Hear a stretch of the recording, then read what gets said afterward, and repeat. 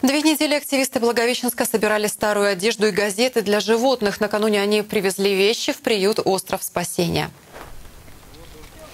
Помочь бездомным животным общественники решили в рамках акции «Неделя добра». Ее проводит Управление по делам молодежи. О том, что нужно кошкам и собакам, которые находятся в приюте, узнали заранее. Пакеты с крупой, кормом, газетами и теплыми вещами они передали администрации приюта.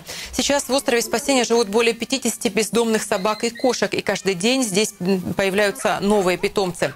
Однако свой дом многие из них обретают тоже часто. А, многие организации помогают людям, но мы решили сделать вот ставку именно на животных. Потому что остров спасения единственное ну, место, заведение, где действительно держат бездомных питомцев. Мы хотим продолжать это, потому что вещи действительно люди некоторые выкидывают просто на помойки, чтобы вот так вот такого не было, почему бы не помочь кому-то, вот братьям нашим меньше.